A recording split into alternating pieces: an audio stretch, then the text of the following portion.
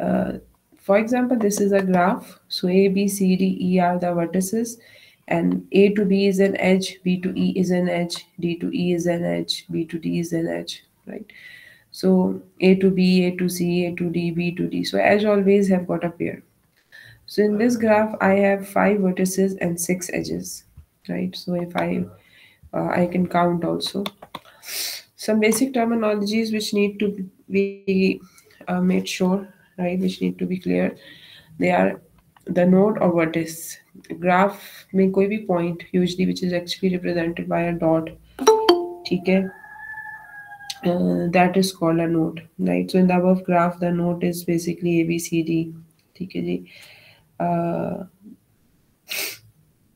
तो ये है loop uh, sorry edge there's a connection between two vertices loop loop is formed whenever a vertex has an edge uh, outgoing and incoming on the same incident on the same vertex. So if a node has a edge on itself right so it's loop. Uh, but and if, if any two three nodes for example if there is an uh, edge from node 1 to 2 or a to b and then there is a edge from this to this. And if there is an edge back to the starting node then it's a cycle. Okay? So loop is when an edge from a node is incident on itself. Okay? It forms a loop. Degree is the number of vertices which are incident on a given vertex. So for example this b has got 3 degree. One two three degree. Right?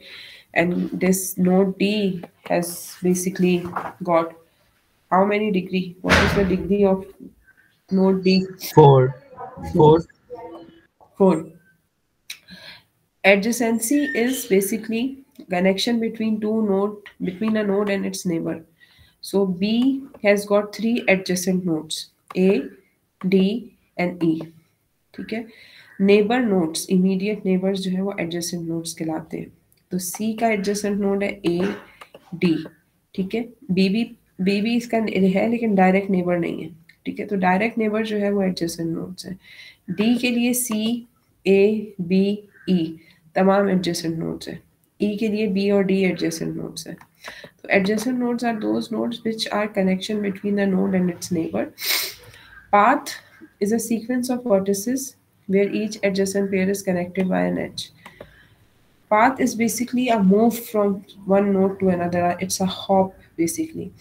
So if i start at node a so i have a uh, i have a uh, walk basically from a to d and d to e.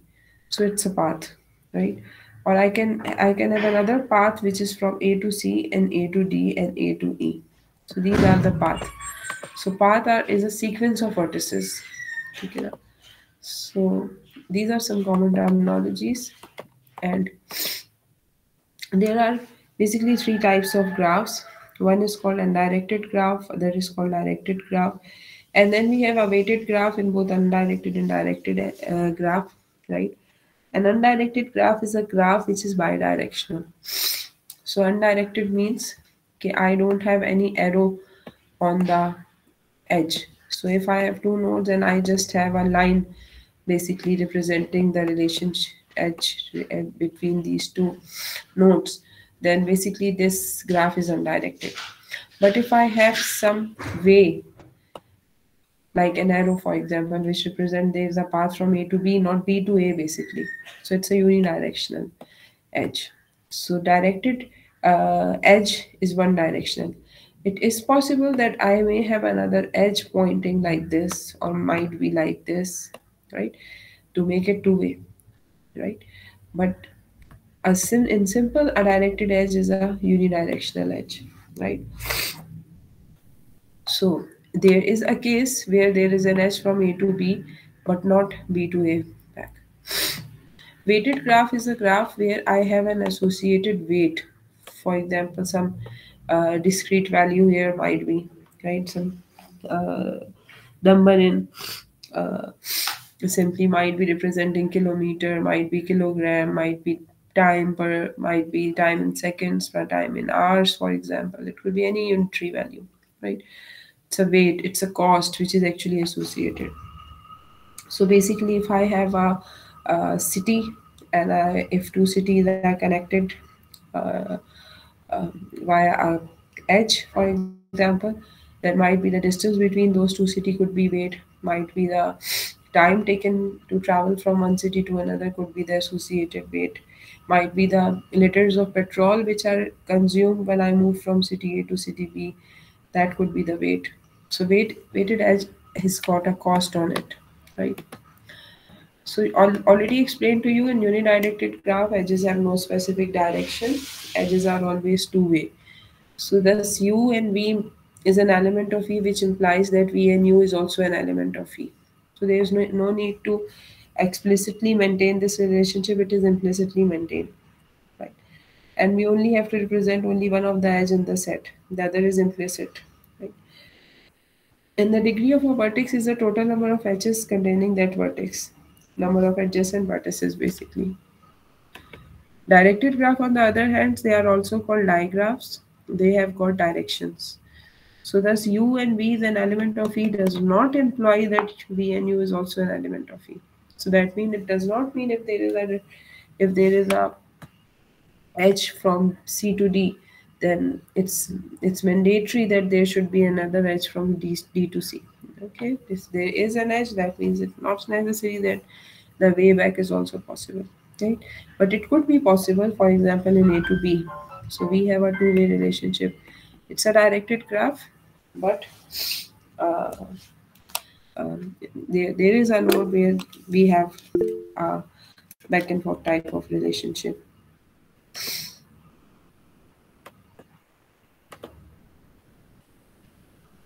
अच्छा sorry I think मैंने admit कर लिया है in degree और out degree directed के अंदर ये हो जाएगा कि कितनी एजेस एरो की अंदर आ रही है और कितनी बाहर जा रही है। Number of inbound edges are called in degree. Number of outbound edges are called out degree. Then i just told you weighted graph.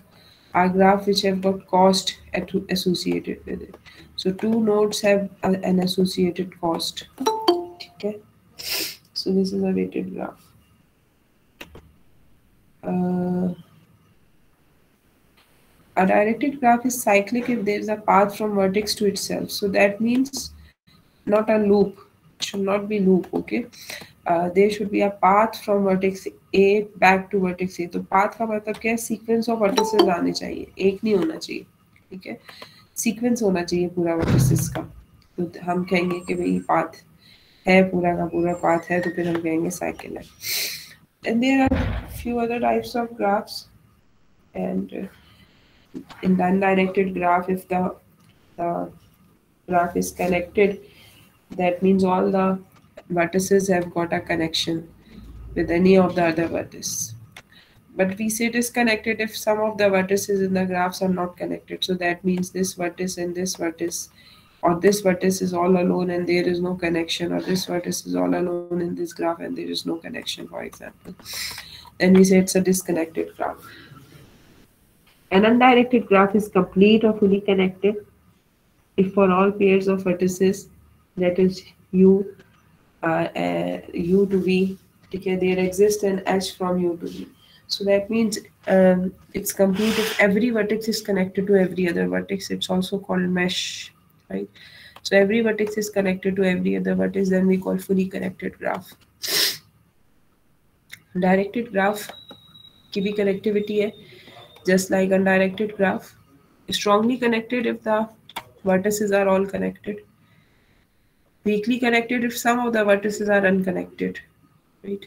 And completely connected or fully connected it all, all the vertices are connected uh, to every other vertex right? So there exists a graph where there is no any uh, uh, vertex is not like which is not connected to the other vertex.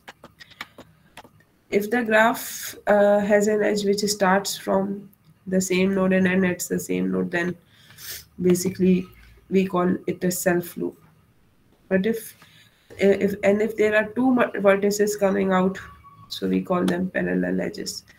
And if there are uh, no parallel edges and no loops then we call it a simple graph.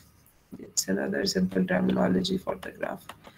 Uh, here you can see the abstract data type for the graph. We can see that graph has got the first method of create graph then we have insert vertex method. Obviously we need a graph for that and we need a vertex and it is going to return a graph with um, the vertex v.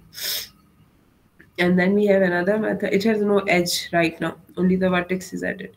But if we insert an edge we again take a graph we again take a pair of vertices because we know that edge basically represents a relationship between two vertices. If we delete a vertex again we need a graph and we need that vertex which is to be deleted. And all the edges which are incident for that particular vertex are also deleted side by side. Uh, delete edge return a graph in which the edge v1 and v2 is removed. Boolean is empty if the graph, graph is empty and list adjacent graph. If there are adjacent vertices to that particular vertex then we are going to display the list of all those vertices that, which are adjacent to the vertex v some more terminology outgoing edge incoming edge just like in degree and out degree. If the edge is going away it's called out degree. If the edge is coming inside it's called in degree. Okay outgoing and in degree you can read the definitions. I already told you walk. Walk is basically a finite alternating sequence of vertices. And edges beginning and ending with multiple a closed walk is a walk which is to begin and end at the same vertex. It forms a cycle basically. Okay, so it's a closed walk. And if there is no cycle, right, then it's an open walk. Okay, these are the just some terminologies of the graph. Trees are basically graphs. I just I told in the start all trees are graphs right? They are uh, they are graph with some special constraint okay na?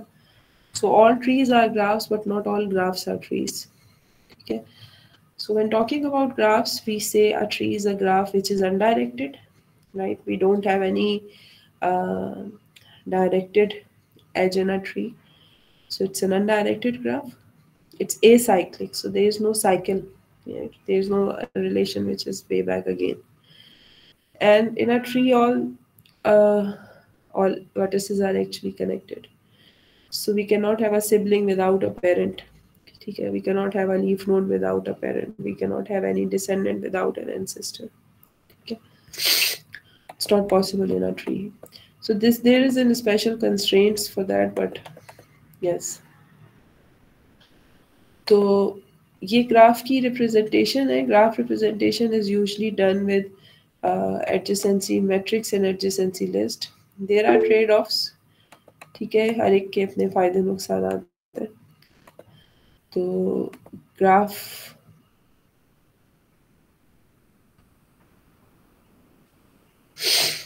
नहीं H specifically जो है वो हमारी mention नहीं होती। आप कहीं arrow तो नहीं उसके ऊपर हम बना रहे होते। रिप्रेजेंटेशन की अभी मैं बात कर रही हूँ ठीक है? Talking in point of the representation basically ठीक है? तो हमारे पास जो है वो दो एजेस के दरमियान, जैसे अनडायरेक्टेड के अंदर एक रिलेशन होता है। तो या हम दो नोट्स लेते हैं और उसके दरमियान एक रिलेशन बनाते हैं। So just like that we represent tree को आप सब ग्राफ भी कह सकते हैं। ग्राफ का एक पार्ट भी कह सकते हैं, ठीक है? लेकिन उस पर कंस्ट्रेंट आ जाएगा कि हमारे पास जो है वो एक टर्मिनोलॉजी डिफरेंस भी आ जाएगा कि हमारे पास एक डिसेंडेंट नोड होगी और उसका एंसिस्टर मौजूद होगा सिस्टर का एंसिस्टर मौजूद होगा। ठीक है ना? तो ये है। ग्राफ को दो वेज से रिप्रेजेंट करते हैं। We represent it with adjacency matrix and adjacency Normally, for the dense graph, adjacency matrix is good. And for the sparse graph, adjacency list is good. Now, why is that? Let's see that. ठीक है कि क्यों dense graph में ज़्यादा matrix suitable है और अगर हमारा छोटा ग्राफ है स्पार्स ग्राफ है ज़्यादा वर्टिसेस नहीं है हमारे पास सिंपल है तो हमारे पास adjacency list is perfect okay ठीक है उसको देखते हैं matrix basically N by M dimensions होती है, ठीक है? So we have N into M dimensions in a matrix ठीक है? सो दैट मीन्स कि हमारे पास मैट्रिक्स के अंदर we can in fact we can say N by N dimensions ठीक है? तो अगर हमारे पास चार नोड्स हैं तो फोर बाय फोर का मैट्रिक्स बनेगा। Four columns and four rows का हमारे पास मैट्रिक्स बनेगा, ठीक है? तो इसका मतलब है कि तमाम नोट्स हमारे पास डबल आएँगी। एक एक इस एक्सिस पे आएँगी और एक इस एक्सिस पे आएँगी और लिस्ट के पॉइंट ऑफ़ व्यू से हमारे पास list just like a simple array for each node ठीक है which maintains all the list of nodes or vertices for that particular node right which has got an edge from that particular node or vertex okay तो let's maintain that thing so हमारे पास इस graph को अगर हम देखें और इसके मैट्रिक्स को देखें तो one two three four one two three four on the this axis and one two three four on this axis and we can see that there is no loop here तो one to one is not one to one relationship is not here so we wrote we write actually zero here because one to one is there is no loop but one to two there is a relationship so we write one here. Zero one is just a way of representation. It could be represented by true and false also. ठीक है? तो true and false से भी आप represent कर सकते हैं। ठीक है? तो इसी तरीके से टू से थ्री एग्जिस्ट कर रहा है तो टू से थ्री में वन आ गया। थ्री से फोर एग्जिस्ट कर रहा है तो थ्री से फोर में वन आ गया। फोर से थ्री एक रिलेशनशिप में तो ये वन आ गया। So this is how we represent a graph in matrix list के अंदर थोड़ा सा डिफरेंट है लिस्ट में basically we have got node one and for node one we have two adjacent vertices 2 and 3 so we maintain that in the node of 1 and for 2 we have 1 and th uh, 3 and 4 so list is like this okay now so this is the representation of the given graph in the list for each node a list of adjacent node is created. Only records existing connections in a graph. okay so you can just see uh, how it looks like for this particular graph. So we have uh, a for a agar if we need to find the nodes vertices for the a we just quickly go to a and we can see that okay, what are the number of vertices uh, are available ठीक है? एडजस्टेंसी list जो है वो एक एक minute दीजिएगा मुझे।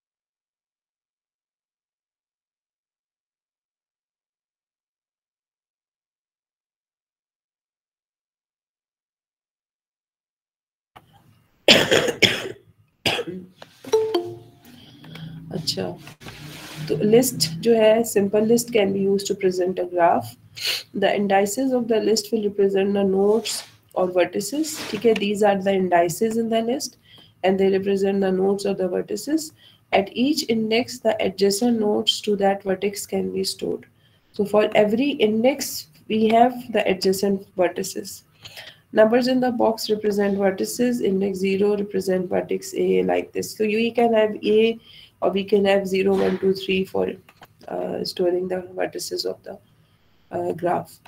So another example uh, using a, a, list. Yes we can use a list for the representation. Uh, we can use a dictionary also. We can uh, dictionary is more suited the, to represent the graph. So we can use a dictionary. For example dictionary maintains a key to value relationship okay so key could be the vertex and the value could be the adjacent nodes. We could have a, a, a sub array or we could have a linked list associated. That is also possible. So let's have more compact representation. okay if we if i just see the above diagram where both of the uh, representations were there. So i i think the more compact representation is list कि अगर आप सामने भी देखें इन दोनों के comparison के अंदर तो जो ज़्यादा सिंपल है वो लिस्ट की रिप्रेजेंटेशन है ठीक है? It's easy to compute also for the outlinks it's space efficient also ठीक है? लेकिन स्पेस एफिशिएंट कब तक? जब तक ग्राफ स्पार्स है। और अगर ग्राफ डेंस होना शुरू हो जाएगा तो हमारे पास लिस्ट भी आ, ये ये वाला हिस्सा लिस्ट का एक्सटेंड होते होते ये भी हमारे पास डेंस होना शुरू हो जाएगा। ठीक है? So that means list are suitable only when we have a sparse graph they can be modified also to support many graph variants but there is a disadvantage basically of computing the in links more, more in links if more in links are present might be. So you need to have a, a comparison. You need to have a searching good searching algorithm okay to actually do what to actually traverse from the list elements right? So you need to have a good um, uh, algorithm for that. What are the properties of a list? What are the running time properties of a list? The running time properties of the list for example if you want to get a vertex out edge if you want to find that what is the number of edges which are moving out of that vertex. So it depends on the out degree. The if if it's 3 then it's o3 if it's 4 then it's o4 so it's basically od where d is the out degree of vertices. Okay? And uh, the in edges we can have a list representation for that which represents all the edges in the form of a list right? So the number which contains that is basically the complexity for that. Yes there is a possibility of a sub list and a sub list and a sub list yeah we could keep a second adjacency list for example. Decide if some edge exists or not. It also depends on uh, the total number of edges for a given vertex, right? So uh, it depends on OD. To insert an edge, it's it's just simple. You have the constant time operation of insertion unless and until you traverse and check if there is uh, no duplication. Then it becomes at that first time it becomes the ON time complexity. And uh, delete an edge is OD because you need to find the number of edges which are going out. They also need to be deleted at that time. Space requirement for adjacency list is the number of vertices and the number of edges. So they go off V and E. ठीक है तो space requirement हमारे पास list की O V है we plus ई है ठीक है तो बेस्ट फॉर स्पार्स ग्राफ और डेंस ग्राफ sparse graph ठीक है so list is best for sparse graph ठीक है adjacency list also work well for undirected graph but each edge in a list supposed to get all the neighbors graphs are often sparse for example streets from grids airlines adjacency list generally should be your default choice adjacency matrix represents a graph as an n by n square matrix so for this particular graph with four vertices, we have a four by four matrix. And uh, you can see here, link from i to j is mij, right? So if there is a link from one to four, so then it's maintained like this, one to four and one to two, right? So it's a link from two vertices, between two vertices. A vertex into vertex matrix of booleans or true false could be there. Anything could be possible. Let's see the time complexity of the adjacency matrix.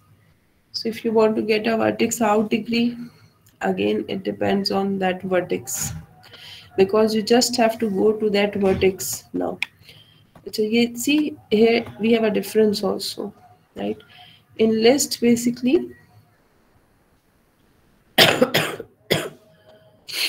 out degree may we depend we have number of d so we have already a list for that vertex okay but here we are actually moving to that particular vertex.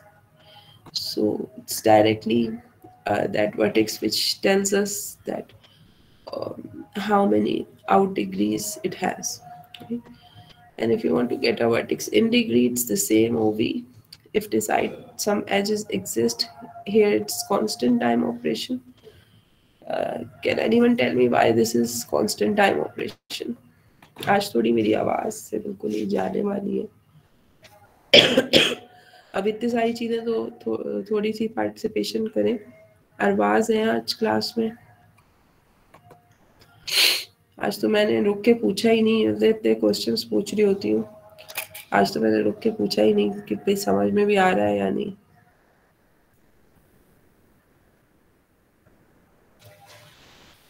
या सब सो तो नहीं गए। Miss क्या चीज़ आप पूछिए मैं मैं पूछी हूँ समझ आ रहा है क्लियर है अरबाज बेटा? यस यहाँ यहाँ तक समझ आ गया मिस अच्छा आ, पूछ रही थी मैं कि कोई बताए ऐसे में जो है वो कांस्टेंट टाइम ऑपरेशन पे शायद मैं रुकी थी उस वक्त। हम्म। मिस कौन मतलब कौन से इसमें कांस्टेंट टाइम इंसर्ट में या फिर decide if some edge exist so edge आपके पास ऑलरेडी होगी ना? For example you want to see C to B so it's just constant time moving in here ठीक है?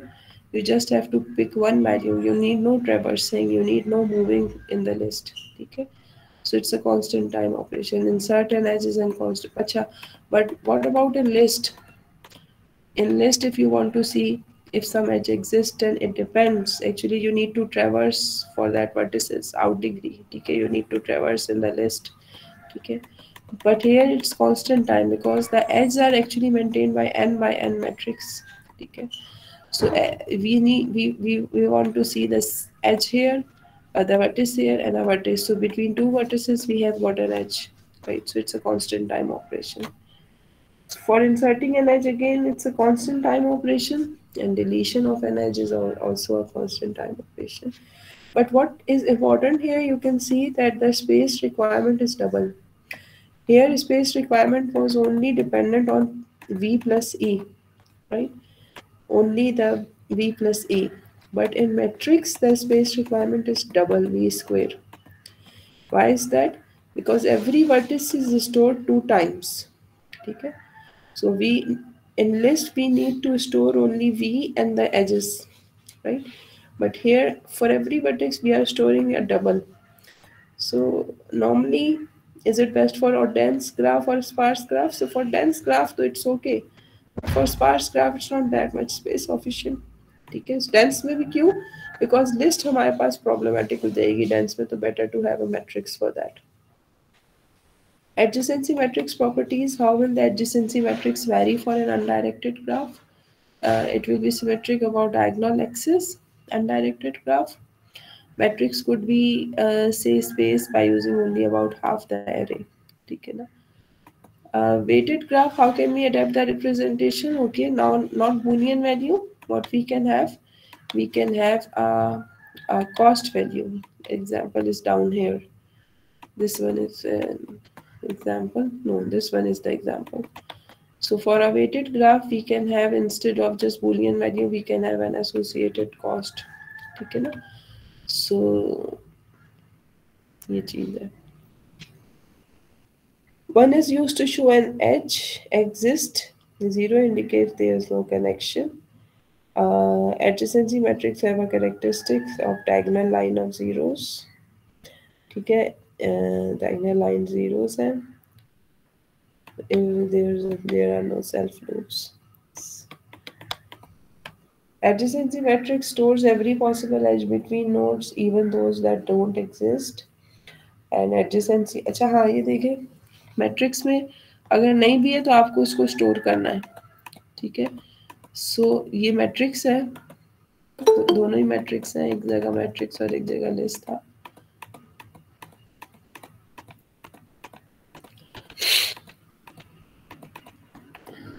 ये वाला। अब यहाँ पे देखिए, ये नहीं एग्जिस्ट कर रहा। ये ये एज नहीं एग्जिस्ट कर रही। ये एज नहीं है। टू से टू में कुछ नहीं है। टू से फोर में एज नहीं है। लेकिन मुझे इसे लिखना पड़ा है स्टोर करना पड़ा है। लिस्ट के अंदर अगर टू से फोर नहीं है तो आ, मुझे लिखना नहीं है फॉर फॉर एग्ज़ाम्पल ठीक है? तो लिस्ट में वही चीज़ लिखनी है जो मौजूद है जो नहीं है उसको नहीं लिखना। तो ये है। सो so, ये इसके डिसएडवांटेजेस हैं। Memory inefficient है memory efficient है and stores edges that exist in the graph uh, time efficient allows a specific edge to be que queried very quickly as it can be looked up by its row and column. Adjacency list is slow to query because it needs a searching algorithm a good searching algorithm in that. Uh, adjacency metrics are for dense graph and adjacency list are for the sparse graphs अच्छा depth first traversal और breadth first traversal के जो है वो वो देख लेते हैं अब थोड़ा सा।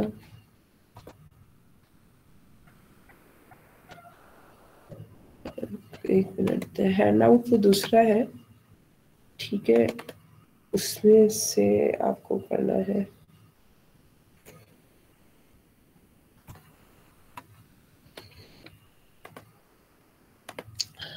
जैसे आपने ट्री के अंदर ट्रेवर्सल किया है इसी तरीके से हमारे पास ग्राफ का ट्रेवर्सल के दो मेथड्स हैं one is called the depth first traversal and the other is called breadth first traversal depth first traversal का एल्गोरिथम ये कहता है कि push the starting vertex onto the stack the following until the stack is empty. Pop a vertex of the stack, if call it P. If he is not already visited, visit it. Push vertices adjacent to be not visited onto the stack. ठीक है rules हैं अभी इसको देख लेंगे तो और समझ आ जाएगा मैं मैंने रीड किया है सिर्फ़ रूल्स कह रहे हैं कि visit the adjacent unvisited vertex mark it as visited displayed push it on the stack एक चीज़ याद रखिएगा ग्राफ में depth first traversal stack accompanied होता है, ठीक है? स्टैक के साथ होता है। और ग्राफ में ब्रेथ फ़र्स्ट रिवर्सल क्यू के साथ होता है, ठीक है? अब यहाँ पे हमारे पास ये ग्राफ है एस स्टार्टिंग नोड है। इनिशलाइज कर दिया स्टैक को, ये स्टैक बना हुआ है, ठीक है?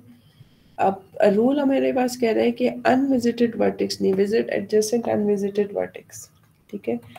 तो अगर हम यहाँ पे देखें तो एस को हमने एस अनविजिटेड था हमारे पास तो we marked S S visited and we put it on the stack now from S I have three choices I can go to A B और सी ठीक है ना? So I basically mark A alphabetically मैंने उठा लिया ठीक है? तो I marked A and I push it on the stack now from A, I have unvisited vertex D. तो मैंने डी उठा लिया डी को विजिटेड कर दिया और डी को स्टैक पे पुश कर दिया। डी से I have two unvisited vertex B and C मैं आर्बिटरी उठा लूँगी और बी पे मूव कर जाएँगे, ठीक है? And then we have another sorry we don't have any more vertex from B so D is also visited and A is also visited S is also visited right so now here at this point we are going to pop So if no more adjacent vertices which are unvisited, then we pop the stack. And once I pop the stack, I pop B from the stack. And once I pop B from the stack, I move back to D, right? Because D is my top now. I'm actually pointing towards this. So from D, I have an unvisited visited vertex C. So I move to C. Okay. Since uh, my all there are no and more visited unvisited vertices, you will start popping C, D, A, S, and that is the uh, depth first traversal of my graph. For a depth first traversal, I need a Q. ठीक है और इसके rules हैं पहले आपने N Q करना है starting vertex को फिर रिपीट करना है क्यू को until for, remove the vertex at the front of the queue call it v and q vertices adjacent to v. ठीक है तो ये सारे रूल्स हैं, समझ में आ जाएँगे? जब डायग्राम देखेंगे तो समझ में आ जाएँगे। यहाँ हमारे पास एक चेंज है ब्रेथ फ़र्स्ट में we have a queue here any arbitrary vertex को हम उठा लेंगे अपना, जैसे एस को हमने यहाँ पे उठा लिया। ठीक है तो अच्छा यहाँ पे हम एस को क्यू में मूव नहीं करेंगे, ठीक है? बल्कि एस को विजिटेड मार्क कर देंगे और एस से देखेंगे कि एस की कितनी अनविजिटेड वर्टिक्स हैं। तो एस की तीन अनविजिटेड हैं तो इन तीनों को बारी बारी विज़िट करेंगे ए बी सी को, ठीक है? और हम इन तीनों को क्यू में मूव करते जाएँगे। पहले ए को किया, फिर बी को किया और फिर सी को किया। अब ये तीनों मार्क्ड भी हो गई हैं और एस की और कोई ऐसी वर्टिक्स नहीं है। जो कि अनविजिटेड हो। अब हम डिक्यू करेंगे।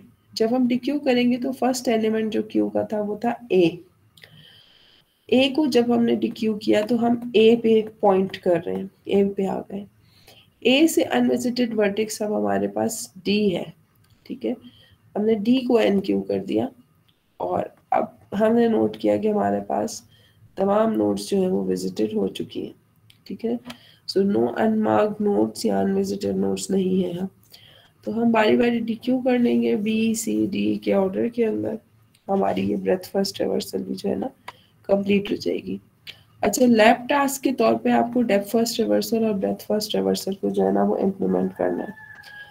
यहाँ पाइथन लिखा हुआ है, आप जावा में कर लें, ठीक है? तो डेप फ़र्स्ट रिवर्सल और ब्रेथ फ़र्स्ट रिवर्सल को आपने पाइथन या जावा या सी जिस भी लैंग्वेज में आपने इम्प्लीमेंट करना है। तो ये हो गया। इसमें कोई क्वेश्चन डेप फ़र्स्ट रिवर्सल और ब्रेथ फ़र्स्ट रिवर्सल के हवाले से कोई क्वेश्चन जो समझ में बात नहीं आई हो?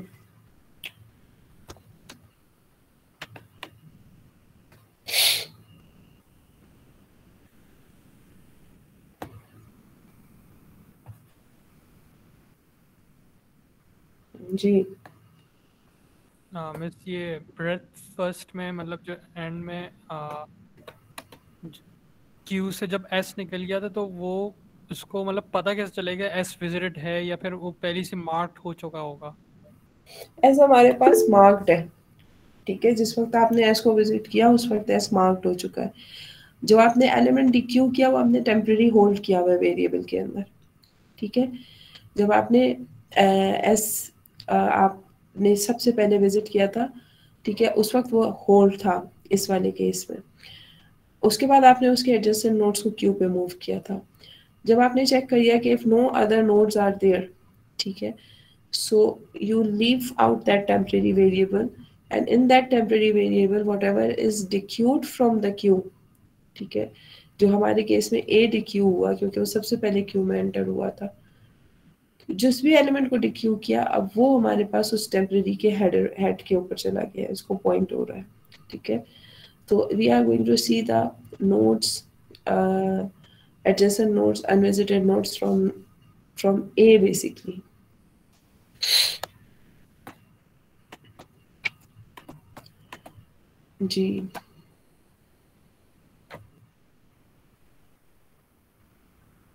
ठीक है।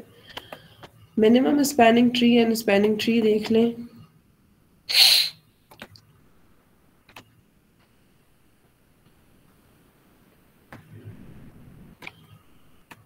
अब स्पैनिंग ट्री क्या होता है? Spanning tree can be defined as a subgraph ठीक है? Spanning tree is basically a subgraph of connected connected मतलब कि सारी वर्टिसेस कनेक्टेड हैं। अनडायरेक्टेड ग्राफ ठीक है? तो it's a subgraph of a connected undirected graph जब ट्री के बारे में बात कर रहे थे तो उस वक्त हमने यही कहा था कि ट्री इज़ अ सब ग्राफ बेसिकली ठीक है? तो मिनिमम स्पेनिंग ट्री भी एक तरह का सब ग्राफ है, जो जब एक्सट्रैक्ट आउट होता है तो ट्री की फॉर्म ले लेता है. यहाँ ट्री का मतलब बाइनरी ट्री या बाइनरी सर्च ट्री नहीं है. इट्स जस्ट सिंपल ट्री ठीक है ना? तो basically any subgraph from a graph ठीक है from a connected undirected graph is called a spanning tree so, for example, if i have this graph, for example,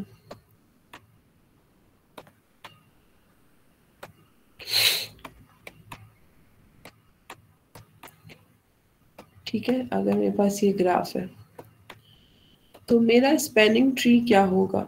आप गौर से पढ़े। कह रहे हैं कि spanning tree is a non cyclic subgraph यानी इस ग्राफ से मुझे ऐसा सब ग्राफ निकालना है जिसमें साइकिल ना हो। या साइकिल आ रही है। ये देखिए, ये साइकिल है। यहाँ से शुरू हुआ था, यहाँ, और ये वापस, ये साइकिल है। फिर एक साइकिल ये रही, ये साइकिल है एक। ठीक है? तो spanning tree is a non cyclic graph तो इसका मतलब है कि जहाँ साइकिल आ रही है ना, मुझे उसको ख़त्म करना है। तो हो सकता है मैं इस ग्राफ से एक जो है, वो सिंपल ये पार्ट ले लूँ, यहाँ तक। ठीक है? मैं रेड कलर से कर रही हूँ ताकि आपको समझ में आए।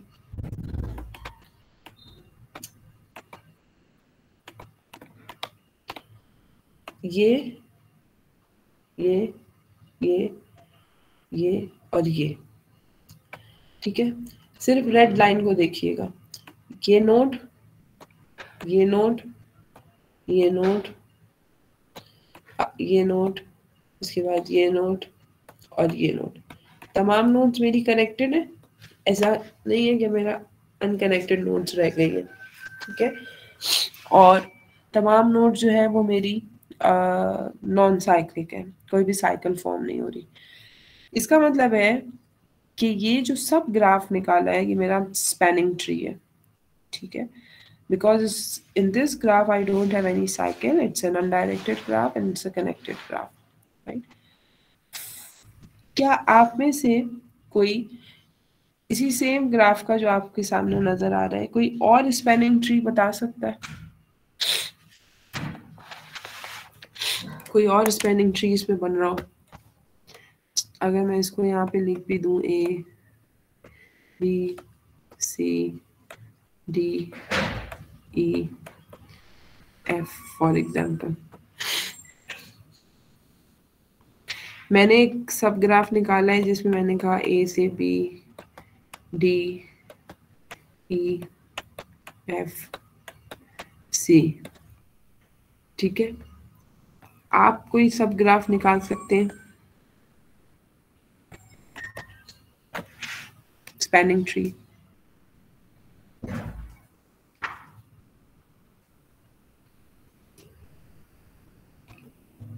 जी, नहीं है कोई स्पेनिंग ट्री इसमें?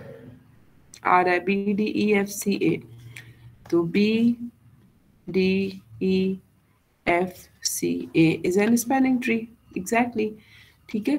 So graph G can have multiple spanning trees ठीक है? In simple words for any graph G, we can have multiple spanning trees. But what is a minimum spanning tree? In minimum spanning tree, H has got weights. It's a weighted graph. Okay? And a minimum spanning tree is that spanning tree which has minimum total weight. Out of all these spanning trees, the minimum total weight tree is called the minimum spanning tree. Which contains the least weight among all the spanning tree okay so basically there are two minimum methods to construct minimum spanning tree. One is called Prim's algorithm and the other is called Kruskal's algorithm. Okay. So let's study Prim's algorithm. पहले मैं आपको ऐसे समझा देती हूँ और फिर जो है वो यही वाला ग्राफ ले लेते हैं जो भी हमने बनाया था।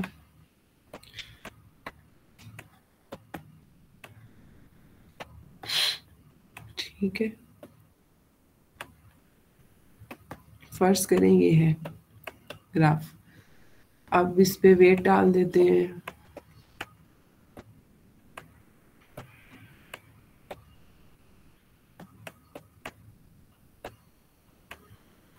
ये वेट डाल दिया। इसको मार्क कर देते हैं। A B C D E F Prim's algorithm कहता है कि आपने किसी को भी अपनी स्टार्टिंग नोट बना लेना है, ठीक है?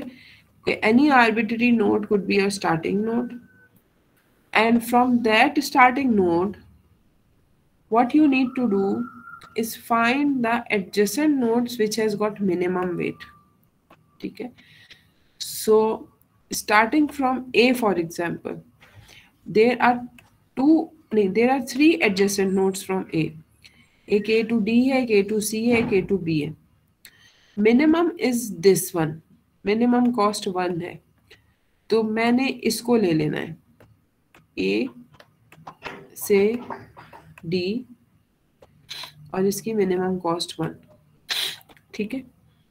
अब मेरे पास ये दो नोड्स आ गई। एक ए आ गई और डी आ गई। ठीक है? अब इन दोनों नोड ये दोनों नोड्स मेरी आ गई हैं। अब मैं कहाँ जा सकती हूँ? मैं ए से बी पे जा सकती हूँ ए से सी पे जा सकती हूँ, मैं डी से एफ़ पे जा सकती हूँ। यहाँ पे एक चीज़ का ख्याल रखिएगा कि ऐसा नहीं करिएगा कि आप ए से डी पे आए हैं तो डी की एडजस्टेंट नोट्स ही देखें बस। ठीक है ना? आप देखेंगे कि आप ए से डी पे आ गए हैं तो यहाँ से भी तो भी आप कहीं जा सकते हैं ठीक है? तो आपके पास पॉसिबिलिटी है ए से बी ए से सी और डी से ई e. तो एडजस्टेंट नोड इन दोनों की देखेंगे। ए की एडजस्टेंट नोड ए से सी है ए से बी है और डी की एडजस्टेंट नोड डी से एफ़ है फॉर एग्जांपल कौन सी नोड लेंगे? डी से एफ़ ए से एफ़ ले लेंगे। मिनिमम कॉस्ट है ए से एफ़ की, ठीक है, इन सब में। तो हमने ये ले लिया और हमारा वेट आ गया टू अब हम तीनों देखेंगे ए डी एफ़ मैं ए से बी पे भी जा सकती हूँ ए से सी पे भी जा सकती हूँ और डी से तो मैं एफ़ ही जा सकती थी, ठीक है, जो मैं जा चुकी हूँ। और एफ़ से मैं ई e पे जा सकती हूँ। अब इनमें मेरे पास मिनिमम है ए से बी ठीक है? ए से बी मेरे पास मिनिमम है। मैंने ये ले ली। ठीक है? अब आप ए से सी पे जा सकते हैं बी से ई e पे जा सकते हैं एफ़ से ई e पे आ सकते हैं। तो तीन आ, आ, आ, आपके पास पाथ है। ठीक है? ए से सी पे जा सकते हैं और एफ़ से ई e पे आ सकते हैं और बी से ई पे जा सकते हैं। तो कौन सा लेंगे? ए टू सी ए टू सी आ जाएगा हमारे पास। ठीक है ये आ गया। इस पे हमने इसकी कॉस्ट लिख दी। अब हमारे पास सी भी आ गई है। अब दो दो नोट तीन नोट्स बची तीन एजेस बची हैं। एक एज बची है सी से ई e, एक बची है बी से एफ़ वाली और एक हमारे पास नहीं सॉरी बी से ई e वाली और एक है एफ़ से ई e वाली। तीनों ही ई पे आ रही हैं। ये तीनों नोट्स ही ई पे आ रही हैं एजेस सॉरी ई नोट पे आ रही हैं लेकिन कौन सी लेंगे? सी से सी टू ई अब ये ग्राफ मेरा कनेक्टेड हो गया। सारी नोट्स कनेक्टेड हो गई। I am going to stop here right I am going to stop because every node is it's a connected graph right so that means once I obtain a connected graph, I'm going to stop. और इसमें कोई cycle भी नहीं है। I can see that there is no cycle here. Now I'm going to count all the weights 2 plus 1, 3, uh, 4, 5, 6, 7, 8, 9, 10 and 5, 15. So the cost of my minimum spanning tree is 15. Okay. So this is Prim's algorithm. There is another example of Prim's algorithm here. You can solve it later on. Uh, इसकी पूरी step by step अच्छा मैंने direct आपको समझाने के लिए यहाँ पे ऐसे किया है लेकिन पेपर में जब आप करोगे तो आपने स्टेप बाय स्टेप दिखाना है कि step one step two step three step four step five हर स्टेप को आपने दिखाना है। ठीक है so minimum spanning tree from Prim's algorithm. Let's take the same graph which I draw here and draw minimum spanning tree from Kruskal's algorithm for the same graph. Prim's algorithm से कोई question तो नहीं है, समझ आ गया Prim's algorithm? Clear है? Prim's clear है? Okay Kruskal's algorithm directly edges को देखता है तो नोट्स पहले ही बना देनी है। ठीक है? प्रेम में हमने आर्बिटरी नोट उठाई थी क्रुस्कल में आपने डायरेक्टली नोट्स को जो है ना, वो ड्रॉ कर देना है। ए टू बी एजेस नहीं बनानी, सिर्फ़ नोट्स को बना देना है। ई एंड एफ़ अब पहला स्टेप ये है कि सारी नोट्स बनाने के बाद आपने जो है वो देखना है कि सबसे कम वेट किसका है। सबसे कम वेट है यहाँ पे ए टू डी का। तो ए टू डी को आपने बना देना है। ठीक है? अब आपने देखना है इसके बाद और कौन सी ऐसी है जो कम वेट की है। क्या बनेगा बताएँ? डी टू एफ़ बताते जाएँ। डी टू एफ़ आ जाएगा फिर? A to B A to B आ जाएगा फिर? A to C A to सी आ जाएगा। सी टू ई सी टू ई पे कॉस्ट कितनी है? फाइव है। Is it the same tree which was the output of the Prim's algorithm?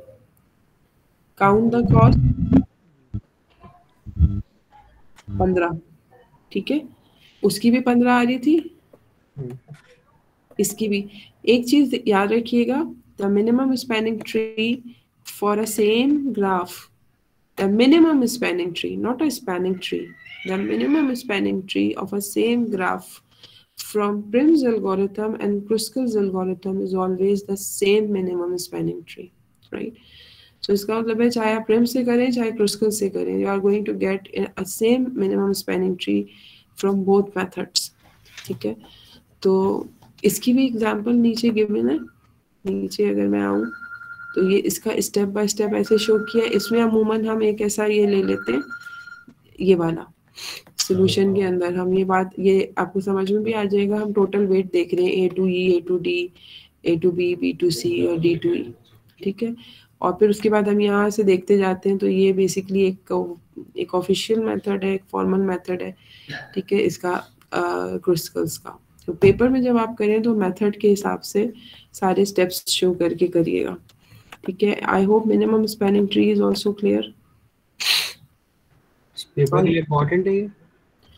जी लाजमी क्वेश्चन होता है depth first breadth first traversal पे भी और प्रिम्स एंड क्रुस्कल्स एल्गोरिथम में भी लाजमी क्वेश्चन होता है प्रॉब्लम सॉल्विंग आसान है आई थिंक इतना मुश्किल नहीं है। ठीक है जी। अच्छा नेक्स्ट लैब इसकी मैं अभी अपलोड कर दूँगी टास्क आप इसकी लैब का टास्क कंप्लीट कर दीजिएगा। और जो है वो इनशाला ताला जो है क्योंकि नेक्स्ट वीक में मॉर्निंग के भी एग्ज़ाम शुरू हो रहे हैं तो थोड़ा सा भी इस वीक तबीयत भी बहुत दो वीक से बहुत ज़्यादा ख़राब रही है तो आपकी क्लास मिस नहीं करना चाह रही थी मैंने, इसी वजह से ऑनलाइन क्लास ले ली है। अब एक दो टॉपिक्स जो रह गए, इंशाल्लाह कोशिश करें कि दिसंबर में एटलीस्ट मैं पहले उनका हैंड आउट डाल दूँगी lecture handout dynamic programming वगैरह का। आप उसको स्टडी कर लीजिएगा, फिर लास्ट एक फ़िज़िकल रिव्यू क्लास रखेंगे माइट भी नेक्स्ट वीक नहीं रखूँ नेक्स्ट वीक मेरे क्योंकि सारे पेपर नेक्स्ट वीक में। तो वो तो फिर सी आर से कोऑर्डिनेट कर लूँगी मैं कि कब करनी है। और उसमें फिर एग्ज़ाम का पैटर्न पेपर वगैरह आपकी, वैसे तो काफ़ी हद तक डिस्कस किया हुआ है। कुछ टॉपिक्स जो सर किए हैं, वो किस तरीके से आएँगे और क्या है। ठीक है ताला, वो फिर आपकी फ़िज़िकल रिव्यू क्लास हो जाएगी। और दूसरा ये कि आपकी लैब का एग्ज़ाम जो है वो मैंने पेपर में ही रखा है लैब का क्वेश्चन तो एक क्वेश्चन आपका लैब के हवाले से प्रोग्रामिंग बेस्ड होगा, जो जावा से रिलेटेड क्वेश्चंस होंगे related to data algorithms hands on lab नहीं होगी आपकी लैब का क्वेश्चन डायरेक्टली पेपर में दस मार्क्स का आएगा, ठीक है? तो ये है अटेंडेंस अगर मुझे C R ji Arbaz handwritten miss एक क्वेश्चन है। जी। जो अभी आप पढ़ा रही ना ये तो हमें कॉन्सेप्ट में क्लियर हो जाता है लेकिन जब कोड करने जाते हैं पाइथन पे या जावा पे तो मिस उसमें बड़ी मुश्किल पेश आ रही है कि कोड नहीं कर पा रहा। मैं अपना बताऊँ या मेरे कुछ दोस्त भी हैं। हम्म, तो उसका क्या करें? मतलब हम हमें यानी कॉन्सेप्चुअली तो हमें समझ आ रहा है कि भाई एवीएल ट्री क्या होती है कब कब हम उसको लेफ़्ट रोटेट करते हैं राइट अच्छा। रोटेट करते हैं। आप आप जो है वो बुक वाला कोड फॉलो कर रहे हैं क्योंकि बुक वाला कोड एरर फ्री है। बिल्कुल उसमें एरर्स नहीं है। अच्छा मैं आपने आपने बहुत सारी बुक डाली, में उसमें से, मैं देखी सारी हैं, लेकिन वो ज़ाहिर सी बात है, इतनी सारी बुक है तो आप आप किसको फॉलो कर रही हैं? देखो बेटा नवासिया की बुक है ना उसका कोड मैंने कई बार चलाया हुआ है। अच्छा मैंने पाइथन वाली का चलाया ठीक है? मैंने तकरीबन एवीएल ट्री वाली रोटेशन वाला, उसमें थोड़ी सी मिसिंग्स हैं, जैसे दो मेथड नहीं है कभी ठीक है? तो वो अब आपकी थोड़ी सी आपकी वहाँ पे मेहनत लेकिन बेसिक एवियन ट्री का पूरा स्ट्रक्चर एवियन ट्री में जो है वो आपको किस तरीके से लेफ़्ट रोटेशन करानी है या राइट रोटेशन करानी है तो वो पूरा उसका कोड गिवन है। गुडरिथ गुडरिच तमासिया की बुक है, ठीक है? और इसमें कोड गिवन है।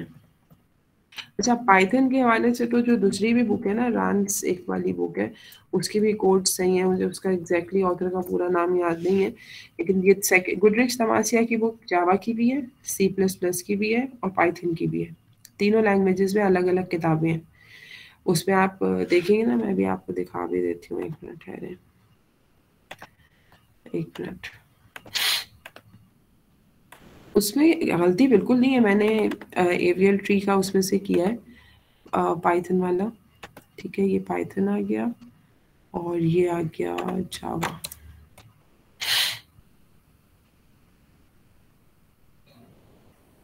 अब इसके अलावा मुझे नहीं पता कि कौन सी बुक है, जिससे आप फॉलो कर रहे हैं, लेकिन फिर भी अगर आपको कोई इशू है तो आप मुझे व्हाट्सअप कर दो। आराम से किसी भी टाइम के ये कोड में मुझे ये मसला हो रहा है, मैं आपको रिस्पॉन्ड कर दूँगी उस वक्त। ये देखिए, ये पाइथन है।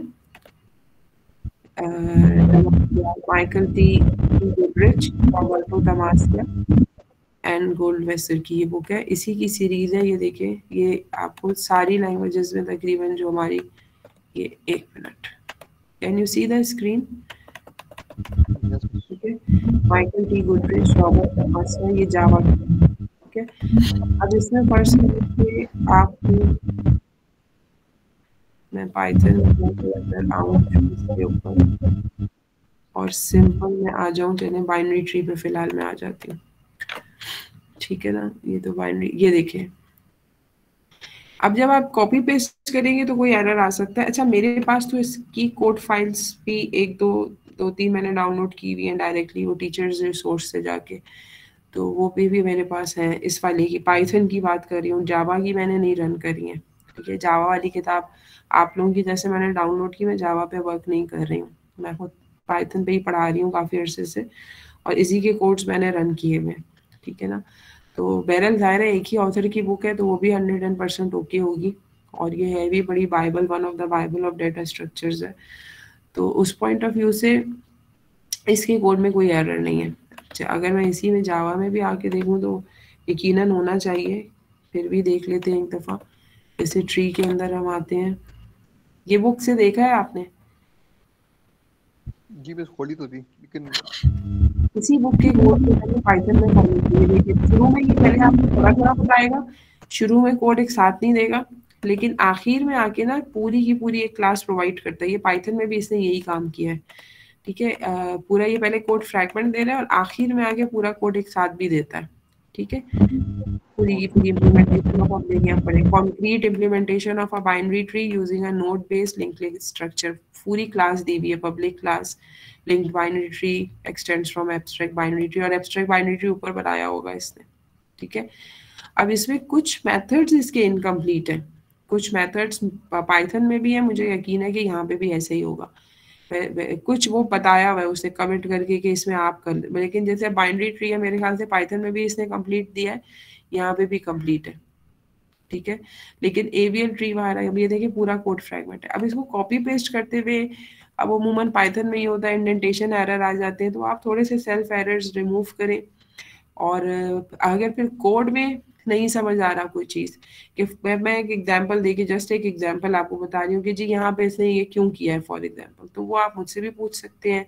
मार्क करके आप जो है वो व्हाट्सअप करके भी पूछ सकते हो कि वैसे इसकी लॉजिक नहीं समझ में आ रही। लेकिन आई थिंक ये इतनी इजी कोडिंग करती करी करी हुई इसने। मेरे पास मॉर्निंग है, बच्चों ने पाइथन में काम किया माशाल्लाह इसी बुक से कोड करें सारे। और अल्लाह का शुक्र है कि इसमें किसी भी बच्चे का प्रॉब्लम नहीं आया। पूरी ग्यारह से बारह लैब्स कंप्लीट की है मॉर्निंग में। पाइथन की बात कर रही हूँ, ठीक है ना? तो इसी से कोड उठाओ इधर उधर इंटरनेट पे जाएँगे या इधर उधर से शायद कोई दूसरी किताब वो आप फॉलो कर रहे हो। ये मैंने अपलोड की भी है शायद आपकी। मुझे नहीं पता मैंने क्लासरूम पे की है या नहीं। जी मिस आई थिंक है उसमें आपने 6 पोस्ट अपलोड करी उसमें है। ये दो ये ये मैं पाइथन की और यही जावा की रही हूँ अगर आप पाइथन से कर रहे हो तो पाइथन वर्जन देखिए और जावा से कर रहे हो तो इसी का जावा वर्जन देख लो। फिर इसको देखने के बाद मुझे अगली क्लास में बताना आ, बेटा कि आपको इशू तो नहीं आया ठीक है? समझ आ रहा ठीक है ना? ओके चले अगर सी आर हैं तो मुझे अटेंडेंस व्हाट्सएप कर दें। सी आर मौजूद है क्लास में। सी आर नहीं है क्लास में। चले मैं नाम लिख लेती हूँ। सी आर है अरीशा बेटा आप ज़रा मुझे व्हाट्सअप कर दें। आपके पास मेरा नंबर है। पिक्चर खींच लें अ, इसकी स्नैपशॉट लेके मुझे व्हाट्सअप कर दें अटेंडेंस का।